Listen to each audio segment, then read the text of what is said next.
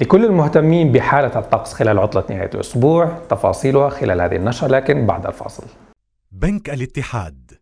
شكل مستقبلك. المناصير للزيوت والمحروقات.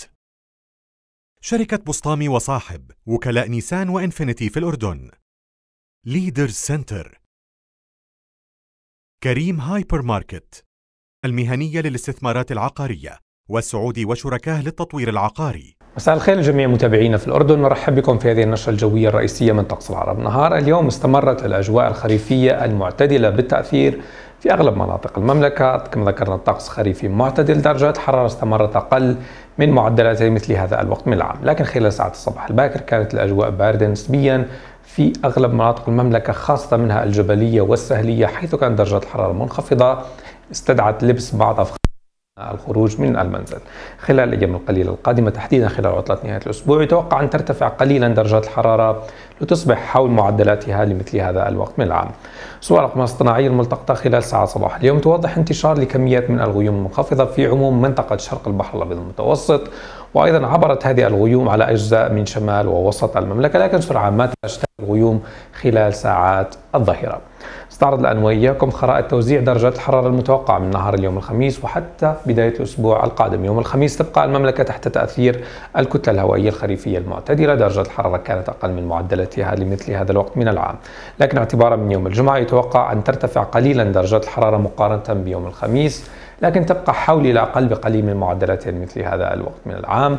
تكون يستمر الطقس خريفي معتدل خلال ساعات النهار لكن يميل للحرارة قليلا خلال ساعات الظهيرة والعصر.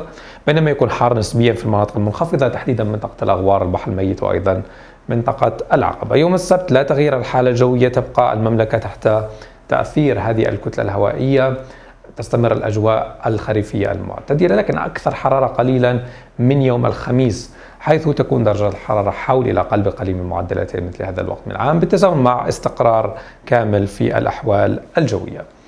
نذهب الآن للعاصمة. عمان وتوقعات الجوية لثلاث أيام القادمة. يوم الجمعة 27 درجة مئوية متوقعة كحرارة عظمى أما الصغرى 18 درجة مئوية. يوم السبت 26 درجة مئوية أما الصغرى تنخفض يسجل 16 درجة مئوية. يوم الأحد انخفاض على درجات الحرارة 25 درجة مئوية كحرارة عظمى أما الصغرى 15 درجة مئوية مع ارتفاع في نسب الرطوبة وتشكل الضباب الخفيف خاصة فوق القمم الجبلية العالية.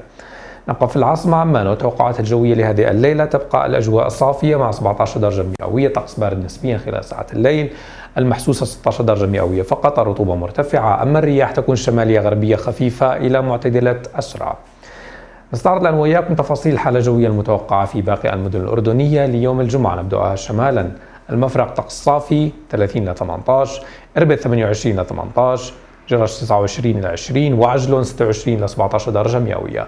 المنطقة الوسطى نبدأ من البحر الميت 34 إلى 26 مأدبة 28 إلى 17 عمان 27 إلى 18 مع أجواء صافية نفس الأجواء في البلقاء أما الزرقاء 30 إلى 20 درجة مئوية. المنطقة الجنوبية الكرك 26 إلى 18 درجة مئوية الطفيلة 26 إلى 17 الشوبك 23 إلى 16 معان 30 إلى 20 درجة مئوية ملعقبة 34 إلى 24 درجة مئوية. المنطقة الشرقية الأزرق 34 إلى 20 درجة مئوية الصفاوي 33 إلى 19 درجة مئوية أما رويشد 32 إلى 19 درجة مئوية مع أجواء صافية بشكل عام. إلى هنا تنتهي نشرتنا نتمنى نهاية أسبوع سعيد للجميع وإلى اللقاء. النشرة الجوية تأتيكم بالاشتراك مع أمنية.